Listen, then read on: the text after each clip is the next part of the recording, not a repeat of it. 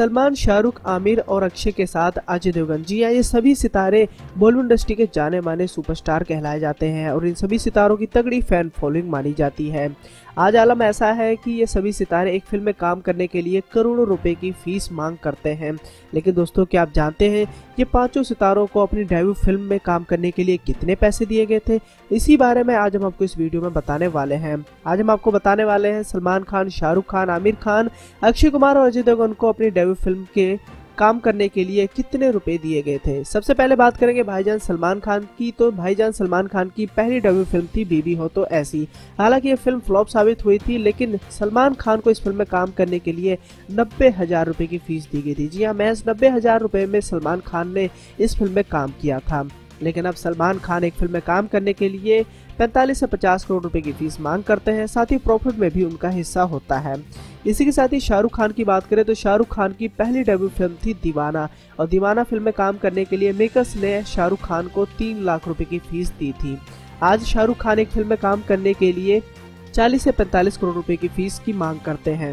हालाँकि इस समय शाहरुख खान फ़िल्मों से दूरी बनाए हुए हैं, और ज़ीरो के बाद शाहरुख खान के अगले प्रोजेक्ट का फैंस भी काफ़ी बेसब्री से इंतज़ार कर रहे हैं। साथ ही बॉलीवुड के मिस्टर परफेक्शनिस्ट कहे जाने वाले आमिर खान की बात करें तो आमिर खान की डेब्यू फ़िल्म धर्मिंदर के साथ यादों की बारात थी। हालाँकि उस समय उन्होंने एज ए चाइल्ड एक्टर के तौर पर इस फ़िल्म में काम किया था, लेकिन उनकी पहली डेब्यू फ़िल्म थी होली।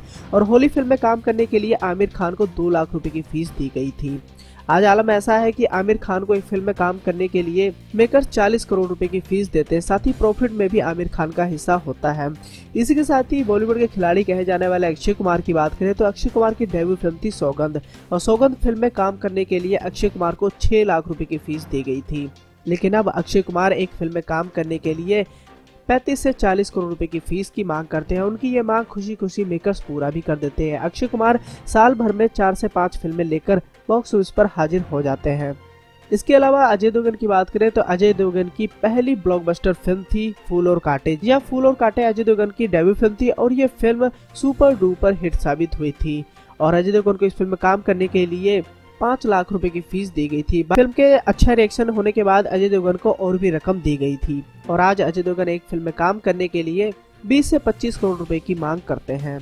तो दोस्तों, ये थे सलमान खान, शाहरुख खान, आमिर खान के साथ अक्षय कुमार और अजय देवगन, जिन्होंने अपनी डेब्यू फ़िल्म के लिए इतने रुपए में काम किया था। लेकिन आज आलम ऐसा है कि ये सभी सितारे एक फ़िल्म में काम करने के लिए करोड़ों रुपए की मांग करते हैं और मेकर्स उनकी इस मांग को खुशी खुशी पूरा भी कर देते हैं।